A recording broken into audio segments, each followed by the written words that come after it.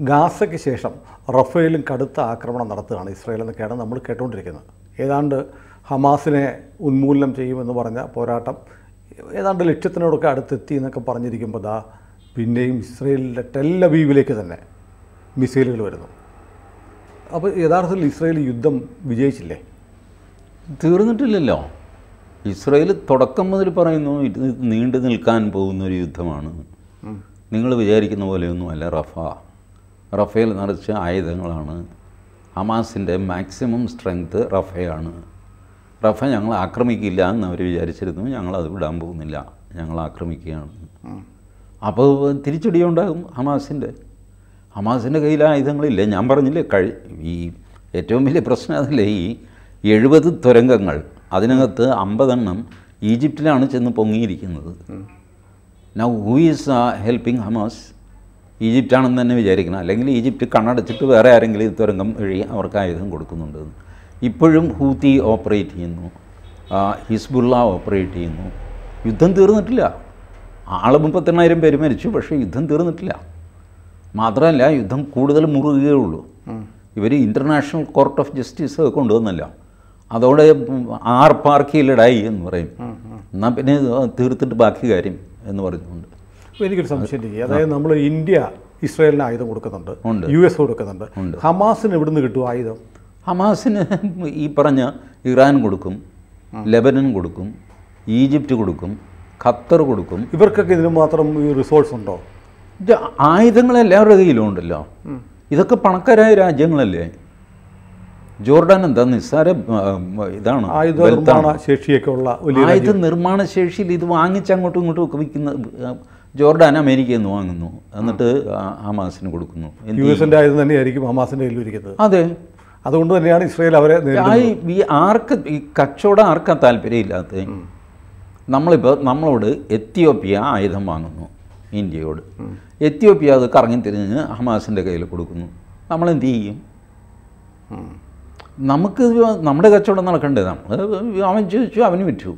അവനത് കൊണ്ടുപോയിട്ട് വേറെ ആർക്കെങ്കിലും കൊടുക്കുന്നുണ്ടോ എന്ന് നോക്കേണ്ട ബാധ്യത നമുക്കില്ല.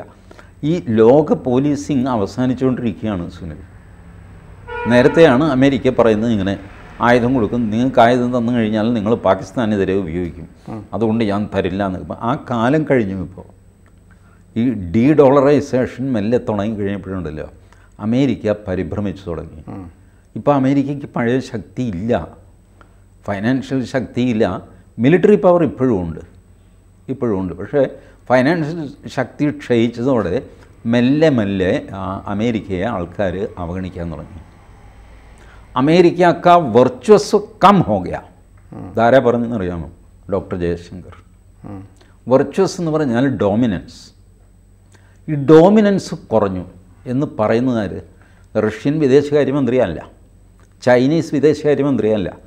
ഇന്ത്യൻ വിദേശകാര്യമന്ത്രിയാണ് ചരിത്രത്തിൽ ആദ്യമായിട്ട് അമേരിക്കയുടെ ഡോമിനൻസ് കുറഞ്ഞു എന്ന് പച്ചയ്ക്ക് പറയുന്നത്. അമേരിക്കയ്ക്ക് എന്ത് ചെയ്യാൻ പറ്റി. പേരിന് പോലും പ്രതിഷേധിക്കാനോ അല്ലെങ്കിൽ അങ്ങനെയല്ല എന്ന് പറയാനോ പറ്റിയില്ല. കാരണം ഡീ ഡോളറൈസേഷന്റെ വലിയ ഭീഷണി നീക്കുന്നു. നിന്റെ കറൻസി ഞങ്ങളുടെ കറൻസിക്കൊപ്പമാണ്. സാധാരണ നമ്മളിപ്പോൾ ഒരു ട്രേഡ് നടക്കുന്നത് എങ്ങനെയാണ് നമ്മൾ സൗദി അറേബ്യയിൽ നിന്നൊരു സാധനം വാങ്ങുന്നു അതിന് പൈസ കൊടുക്കണം. നമ്മൾ നമ്മുടെ രൂപ അടച്ച് അത് ഡോളറിലാക്കി കൺവേർട്ട് ചെയ്തിട്ട് ആ ഡോളർ സൗദി അറേബ്യയിൽ പോയിട്ട് അവിടുത്തെ റിയാലോ എന്താ അവരുടെ കറൻസി അതായിട്ട് മാറുന്നു. ഇതാണ് സിസ്റ്റം ഇപ്പോൾ സൗദി അറേബ്യ പറയുന്നു എനിക്ക് രൂപ തന്നാൽ മതി ചേട്ടാ നമ്മൾ പറയുന്നു എനിക്ക് നിങ്ങളുടെ റിയാലോ എന്താ സാധനം അത് തന്നാൽ മതി എന്ന് എനിക്ക്. അപ്പോൾ ഡോളറോ? ഡോളർ വേണ്ട ആർക്ക് വേണം ഡോളർ? ഡോളറിന്റെ ഈ ഡോമിനൻസ് മെല്ലെ കുറഞ്ഞു കുറഞ്ഞു. മുഴുവൻ മാറിയിട്ടൊന്നുമില്ല. അവർ തന്നെയാണ് ഇപ്പോഴും നമ്പർ വൺ ആയിട്ട് നിൽക്കുന്നത്. ഇപ്പോൾ സിംഗിൾ കറൻസി എന്നുള്ളതിൽ നിന്ന് മാറി മൾട്ടി കറൻസി ആകുന്നു. ഒരു ബാസ്ക്കറ്റിൽ എല്ലാ കറൻസിയും കൂടെ ഇട്ടിരിക്കുന്നു. ആർക്ക് ഏത് കറൻസി വേണമെങ്കിലും എടുക്കാം. ഇപ്പം നേരത്തെ ഈ ഡോളർ കറൻസിയായിട്ട് നിന്നുകൊണ്ടാണ് അമേരിക്കയ്ക്ക് ഇഷ്ടം പോലെ ഡോളർ പ്രിന്റ് ചെയ്യാമായിരുന്നു. നമുക്ക് ദാരിദ്ര്യം വന്നു കഴിഞ്ഞാൽ തോന്നിയ ദിവസം രൂപ പ്രിന്റ് ചെയ്യാൻ പറ്റില്ല. നമുക്ക് അതിനൊരു ഫോർമുലയുണ്ട്. അതിനപ്പുറത്തേക്ക് നമുക്ക് പോകാൻ പറ്റും തോമസ് ഐസക്ക് പറഞ്ഞായിരുന്നു. അല്ല തോമസ് ഐസക്ക് അന്ന് പറഞ്ഞത് ശരിയുമായിരുന്നു കേട്ടോ. പ്രിന്റ് നോട്ട് പ്രിന്റ് ചെയ്യാമോ? ഈ ഇന്നോട്ട് പ്രിന്റ് ചെയ്യാം. അതൊരു ഒരു സൊല്യൂഷനാണ്. ഞാൻ അത് പറഞ്ഞത് തോമസ് ഐസക്കാണ്. അതുകൊണ്ട് എന്തും കളിയാക്കുക എന്നുള്ള പരിപാടി എനിക്കില്ല.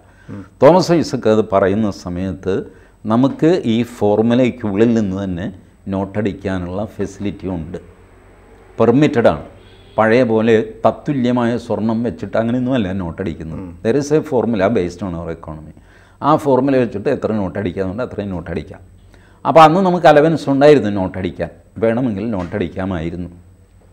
ഈ ചോദ്യം മോദിയുടെ അടുത്ത് വന്നല്ലോ. നോട്ടടിച്ച് ഇത് ചെയ്യാൻ നിങ്ങൾ എന്തുകൊണ്ട് പുറപ്പെട്ടില്ല? അപ്പോൾ മോദി പറഞ്ഞു നമ്മൾ എന്തൊക്കെ പറഞ്ഞു കഴിഞ്ഞാലും നോട്ട് കൂടുതൽ അടിച്ചു കഴിഞ്ഞാൽ ഇൻഫ്ലേഷന്റെ ഒരു റിസ്ക് ഉണ്ട്. പഴയ പോലെ നോട്ടടിച്ചു എന്ന് വിചാരിച്ചിട്ട് ഉടൻ തന്നെ സാധനങ്ങൾക്ക് തീവലയാകുക ഒന്നുമില്ല പക്ഷേ ഒരു എലമെൻ്റ് ഇപ്പോഴും ഉണ്ട് ഞാൻ നോക്കിക്കഴിഞ്ഞപ്പോൾ എന്തിനാ റിസ്ക് എടുക്കണം എൻ്റെ കയ്യിൽ അരിയും ഗോതമ്പും ഒക്കെ ഉണ്ട് ആ സാധനം ഡയറക്റ്റ് ജനങ്ങൾക്ക് എത്തിച്ചു കൊടുക്കുക വിലയിൽ കളിക്കണ്ട നോട്ട് വേണ്ട ഞാനേതായാലും ഫ്രീ ആയിട്ടാണ് കൊടുക്കുന്നത് सो हमको नोट की जरूरी नहीं है हमने गेहूं बांट दिया चावल बांट दिया ബസ് പോവുകയാണ് അതേസമയം അമേരിക്കയും മറ്റ് രാജ്യങ്ങളൊക്കെ അവരുടെ കറൻസി പ്രിന്റ് ചെയ്തു. അമേരിക്കയ്ക്ക് വലിയ പ്രശ്നമൊന്നുമില്ല. കാരണം അവന്റെയാണ് ബേസ് കറൻസി അവനെ എത്ര പ്രിന്റ് ചെയ്താലും ഒരു ഫോർമുലയും ഒന്നുമില്ല. ചുമ്മാ പ്രശ്നം കൊണ്ട് ആടിച്ച് ഓടിച്ച് പ്രിന്റ് ചെയ്യാൻ ബിക്കോസ് ഈ അടിക്കുന്നതിനൊക്കെ വിലയുണ്ട്. മറ്റ് രാജ്യങ്ങളൊക്കെ വിലമതിക്കുന്നതാണ് പക്ഷേ ഇതല്ലാതെ അടിച്ച രാജ്യങ്ങൾക്ക് ഈ പറഞ്ഞ ഇൻഫ്ലേഷന്റെ ഉപദ്രവം വന്നു. നമുക്ക് ഇൻഫ്ലേഷൻ ഉണ്ടായില്ല. കാരണം മോദി ചെയ്ത പഴയ ഒരു ആയിരം കൊല്ലം പുറകിലേക്ക് പോയി. കാശ് ഇല്ല. സാധനം പിടിച്ചു. ബാർട്ടർ. ആ അതിലേക്ക് പോയി. For a for a period now അതിനകത്ത് അരി ഗോതമ്പ് പുള്ളി ഇപ്പോഴും കണ്ടിന്യൂ ചെയ്യുന്നു. ബാക്കിയൊക്കെ നിർത്തി വെച്ചു. ഇങ്ങനെയാണ് നമ്മൾ രക്ഷപ്പെട്ടു ഇപ്പോൾ ഈ പറഞ്ഞ അമേരിക്കയുടെ ആധിപത്യം ചലഞ്ച് ചെയ്യപ്പെട്ടിരിക്കുന്നു. അതുകൊണ്ട് ഇസ്രായേലിന്റെ പുറത്തും അമേരിക്ക കൺട്രോളില്ല ശരിക്കും പറഞ്ഞാൽ ഇസ്രായേലാണ് അമേരിക്കയെ കൺട്രോൾ ചെയ്യുന്നത്. അല്ല എനിക്കിവിടെ ഒരു സംശയമുണ്ട്. അതായത് ലോകത്ത് അമേരിക്കയുടെ ആധിപത്യം എന്ന് പറഞ്ഞാൽ ഡോളറിന്റെ ആധിപത്യം കൂടിയാണല്ലോ. അത് കയ്യിൽ നിന്ന് പോകുമെന്ന് പറഞ്ഞാൽ അമേരിക്ക ഡീസ്റ്റെബിലൈസ് ചെയ്യലാണ്. അത് അമേരിക്ക സമ്മതിച്ചു കൊടുക്കുമോ അവരെ സമ്മതിക്കാതെ കാരണം മറ്റുള്ളവർ ശക്തന്മാരായി എന്ന് മറ്റുള്ളവർ ശക്തന്മാരായി. ഇപ്പോൾ ചൈന അമേരിക്ക ബന്ധം നോക്കും. അമേരിക്കയിൽ നിന്ന് ഇരുപതിനായിരം സ്റ്റുഡൻസ് ചൈനയിലേക്ക് പഠിക്കാൻ പോയി. ഒരു കാര്യമില്ല സാധാരണ അമേരിക്കക്കാരൻ പുറത്തുപോയി പഠിക്കാറുമില്ല. വല്ല ഒന്നും ഒറ്റയൊക്കെ പോയെങ്കിലേ ഉള്ളൂ. ഇത് ട്വന്റി തൗസൻഡ് ആൾക്കാർ ചൈനയിലേക്ക് പോയി. കാരണം ചൈന ഡിമാൻഡ് ചെയ്തു. മര്യാദയ്ക്ക് നിങ്ങളുടെ സ്റ്റുഡന്റിനെ ഞങ്ങളുടെ യൂണിവേഴ്സിറ്റിയിൽ വിടണം. കാരണം ഞങ്ങളുടെ സ്റ്റുഡൻസിനെ നിങ്ങളുടെ യൂണിവേഴ്സിറ്റിയിലേക്ക് നിങ്ങൾ അട്രാക്റ്റ് ചെയ്തു. ചൈന ശ്രദ്ധിക്കാതെ ഒരു ഏരിയ ആയിരുന്നു എഡ്യൂക്കേഷൻ ചൈനയിൽ നിന്നുള്ള പിള്ളേരെ അമേരിക്കയിലേക്ക് കൊണ്ടുവരുന്നു. അമേരിക്കൻ യൂണിവേഴ്സിറ്റിയിൽ അവർ പഠിക്കുന്നു. ഈ മൂന്നോ നാലോ വർഷം പഠിക്കുമ്പോൾ ഇവന്മാർ പ്രോ അമേരിക്കയായിട്ട് മാറുന്നു. എന്നിട്ടാണ് തിരിച്ച് ചൈനയിലേക്ക് പോകുന്നത്. ഇത് ചൈനയ്ക്ക് മെല്ലെ ഫീൽ ചെയ്ത്. കഴിഞ്ഞ പത്ത് പതിനഞ്ച് വർഷമായിട്ട് ഇയാൾ ഈ കളിയാണ് കളിക്കുന്നത്. ചൈന പറഞ്ഞു ഞാൻ ഇതുവരെ ഈ ഡി ഡോളറൈസേഷനിലേക്ക് ഇറങ്ങിയിട്ടില്ല. ഇതുവരെ ചൈന ഒരു ഒരു കളി കളിച്ചിട്ടില്ല കറൻസി വെച്ചിട്ട് യുവാൻ വെച്ചിട്ട്. ഞാൻ ആ കളി കളിക്കും. അയ്യോ അതിന് എന്ത് വേണം? ഇരുപതിനായിരം അമ്പതിനായിരം പിള്ളേരാണ് ആവശ്യം. ഇമ്മീഡിയറ്റ്ലി ഇരുപതിനായിരം പേരെ ചൈനയിൽ കൊണ്ടുവന്ന് ചേർക്കണം. എന്റെ കസ്റ്റഡിയിൽ twenty thousand American youth under China's custody in their university മൂക്ക് കൊണ്ട് ഇക്ഷ വരച്ചിട്ട് അമേരിക്ക ഇരുപതിനായിരം പേരെ അങ്ങോട്ട് പല രീതിയിലേക്കും അതിന്റെ അട്രാക്റ്റീവ് ഓഫറാണ് അതാണ് ഇതാണ് ചൈനീസ് യാങ് യുങ് യൂണിവേഴ്സിറ്റി എന്നൊക്കെ പറഞ്ഞിട്ട് കയറ്റിയും കിട്ടും കാരണം ചൈനയും കൂടെ ഈ ഡി ഡോളറൈസേഷനിൽ ഇടപെട്ട് ചൈന പറയാണ് ആരും ഒന്നും നോക്കണ്ട. യുവാനിൽ നിങ്ങൾക്ക് ഇന്ത്യയ്ക്ക് എന്താ റുപ്പി ആ റുപ്പി കൊണ്ടുപോവാ ചൈനയ്ക്ക് റൂബിൾ റൂബിൾ കൊണ്ടുപോവാ ഇങ്ങനെ പറഞ്ഞു കഴിഞ്ഞാൽ ചൈന നമ്പർ ടു ആണല്ലോ ഇങ്ങനെയൊക്കെ പറഞ്ഞു കഴിഞ്ഞാൽ അപ്പോൾ അവനുണ്ടാക്കാൻ പോകുന്ന ഇമ്പാക്റ്റ് ഭയങ്കരമായിരിക്കും. ഈ ഡി ഡോളറൈസേഷൻ ഇങ്ങനെ താന്ന് താന്ന് താന്ന് വരുന്നത് ചൈനയും കൂടെ ചേർന്ന് കഴിഞ്ഞാൽ ഒന്നുകൂടെ മൂക്ക് കുത്തി താഴും. ഇത് വരാതിരിക്കാൻ ചൈന പറഞ്ഞത് അമേരിക്കയ്ക്ക് കേൾക്കേണ്ടി വന്നു. ഇങ്ങനെയാണ് അമേരിക്ക ആൾക്കാർ ഇപ്പോൾ ചലഞ്ച് ചെയ്തുകൊണ്ടിരിക്കുന്നത്. അപ്പോൾ അമേരിക്ക ആശ്രയിക്കുന്ന അവരുടെ കോർ കോമ്പിറ്റൻസി ആരാണ്? ജൂതന്മാർ. ജൂതന്മാരാണ്. ഇപ്പോൾ ഇസ്രായേൽ അമേരിക്കയോട് പറഞ്ഞ ഒരു കാര്യം. അമേ ഇസ്രായേൽ പട്ടാളത്തിൽ സ്ത്രീകളുമുണ്ട്. അറിയാമല്ലോ അപ്പോൾ സ്ത്രീകൾക്ക് ഈ മെൻസ്ട്രുവേഷൻ പ്രശ്നമുണ്ട്. അത് പ്രകൃതിയുടെയാണ്. അത് തടഞ്ഞു നിർത്താൻ പറ്റില്ല. പട്ടാളമായാലും പോലീസായാലും. ഇസ്രായേലിലെ ഒരു സ്ത്രീ ഒരു മെൻസ്ട്രുവേഷൻ പാഡ് ഡെവലപ്പ് ചെയ്തു which will last for at least one year. ഒരു വർഷം ആ പാൻ ഉപയോഗിക്കാം. Without cleaning that is their technology America ഞെട്ടിപ്പോയി. അമേരിക്കൻ സ്ത്രീകളും പട്ടാളത്തിലൊക്കെയുണ്ട്. ഇന്ത്യൻ സ്ത്രീകൾ പട്ടാളത്തിലുണ്ട്. But nobody thought of this difficulty അപ്പോൾ ഇസ്രായേൽ എന്ന് പറഞ്ഞാൽ ഒരു ലബോറട്ടറിയാണ് അവർ സകല കാര്യത്തിലും റിസർച്ച് ചെയ്ത് അതിന് സൊല്യൂഷൻ കണ്ടുപിടിക്കുന്നവരാണ്.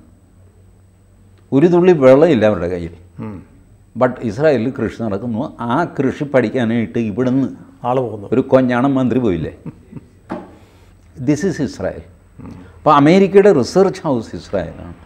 ജൂതന്മാരാണ് അമേരിക്കയിലെ ബിസിനസ് ആംസ് അമ്യൂണിഷൻ എല്ലാത്തിന്റെയും പിന്നിൽ കാശ് മുടക്കുന്നതും ബ്രെയിനും ഒക്കെ ജൂതന്മാരാണ്.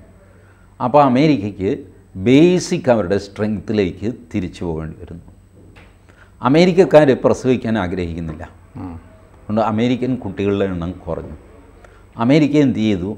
അഭയാർത്ഥികൾക്ക് വേണ്ടി ഇമിഗ്രൻസിന് വേണ്ടിയിട്ട് വാതിൽ തുറന്നു കൊടുത്തു.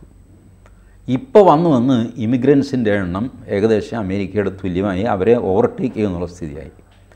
പഴയ നീഗ്രോസ് അമേരിക്കയിൽ നീഗ്രോസ് ഉണ്ടല്ലോ കറുത്തവർ. അവർ ആഫ്രിക്കയിൽ നിന്ന് വന്നവരാ.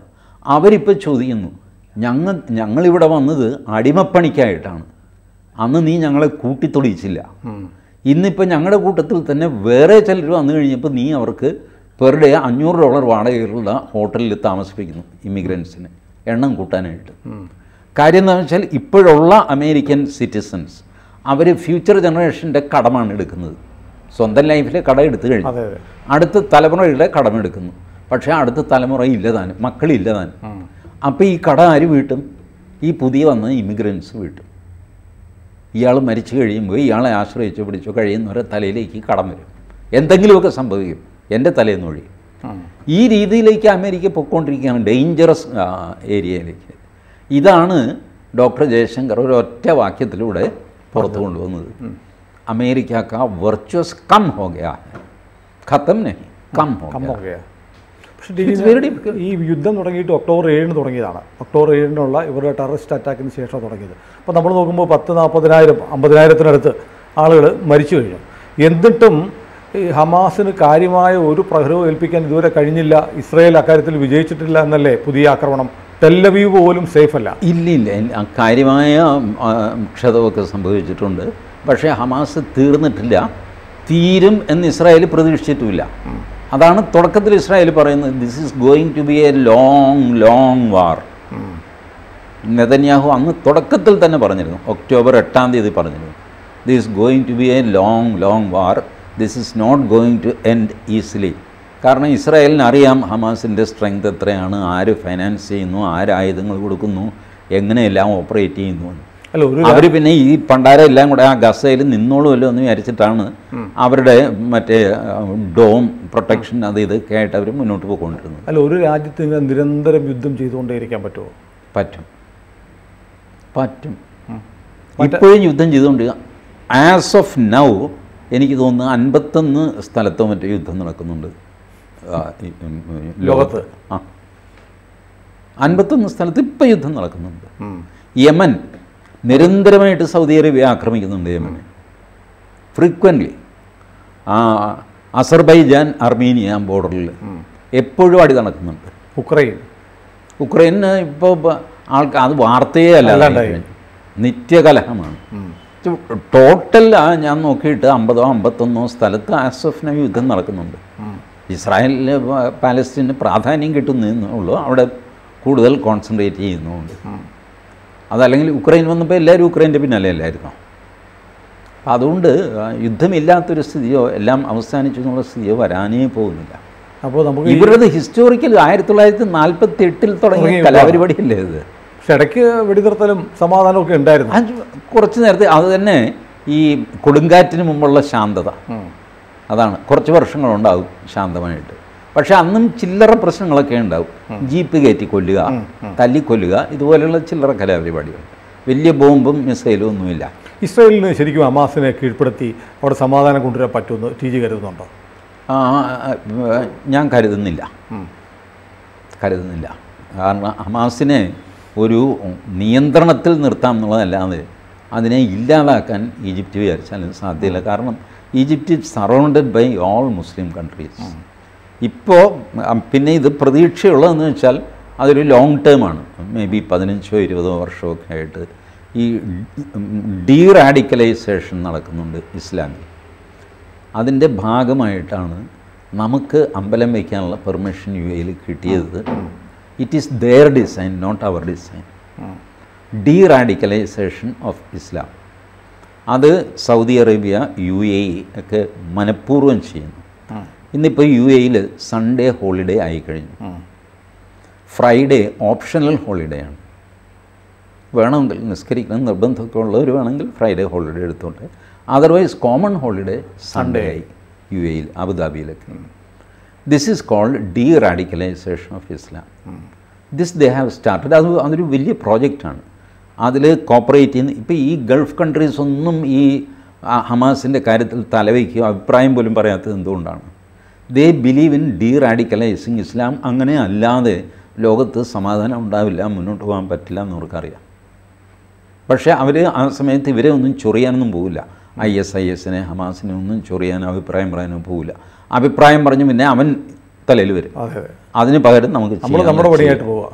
അതിൽ ഈ ഇറാൻ പോലും ഉണ്ട്. Iran was suppose to be highly fundamentalist Shia ഇസ്ലാമായിട്ട്. അങ്ങനെയാണ് ആ രണ്ട് തലമുടി വെടി കണ്ടു എന്നൊക്കെ പറഞ്ഞത് that is over now they are also rethinking ഇപ്പോൾ ഇറാൻ പ്രസിഡന്റ് മരിച്ചു കഴിഞ്ഞപ്പോൾ ഇറാനിൽ നിന്ന് ഓടിപ്പോയി. പീപ്പിൾ ഇൻ എക്സൈൽ അമേരിക്കയിൽ ഇംഗ്ലണ്ടിൽ അവിടെ ഇവിടെയൊക്കെ താമസിക്കുന്നത്. അവർ സെലിബ്രേറ്റ് ചെയ്തു. പടക്കം പൊട്ടിച്ചു. കേക്ക് ലഡു വിതരണം ചെയ്തു. അവരുടെ പ്രസിഡന്റ് മരിച്ചപ്പോൾ ധൈര്യമായിട്ട്. So the deradicalisation of Islam has already started അത് സക്സസ്ഫുൾ ആയിട്ട് ആ പ്രോജക്റ്റ് മുന്നോട്ട് പോവുകയാണെങ്കിൽ ഈ പറഞ്ഞ ഹമാസ് അത് ഇതൊക്കെ അവസാനിച്ചിട്ട് മേ ബി ഒരു ആഫ്റ്റർ ഫിഫ്റ്റീൻ ട്വന്റി ഇയേഴ്സ് ലോകം ഒരു അടുത്ത ഇക്വലിബ്രിയത്തിലേക്ക് പോകും. പിന്നെ അബ്സല്യൂട്ട് സമാധാനം എന്ന് പറയുന്നത് ഉണ്ടാവില്ല. മനുഷ്യന് വിവിധങ്ങളായ അഭിപ്രായങ്ങളുള്ള സ്ഥിതിക്ക് അബ്സല്യൂട്ട് സമാധാനം ഉണ്ടാവില്ല. മിസ്ചീഫ് മേക്കേഴ്സ് എപ്പോഴും ഉണ്ടാകും.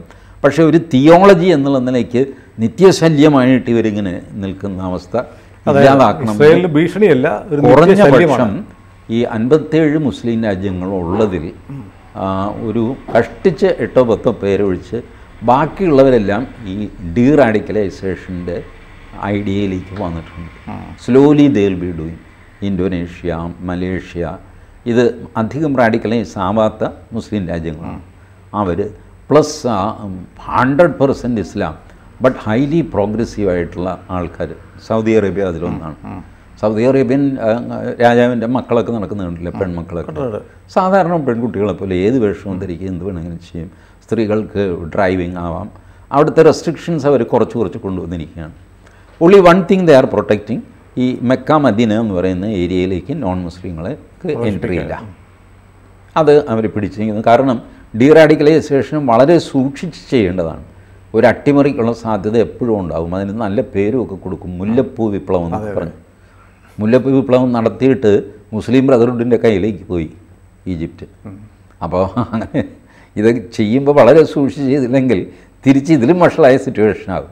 So they are doing it carefully I I I wish success for that ഏതായാലും ടി ജി പറഞ്ഞത് ഇങ്ങനെ സംഗ്രഹിക്കാൻ തോന്നുന്നു. ഇസ്രയേലിന്റെ യുദ്ധം ഉടനെ തീരാൻ പോകുന്നില്ല. ഇല്ല.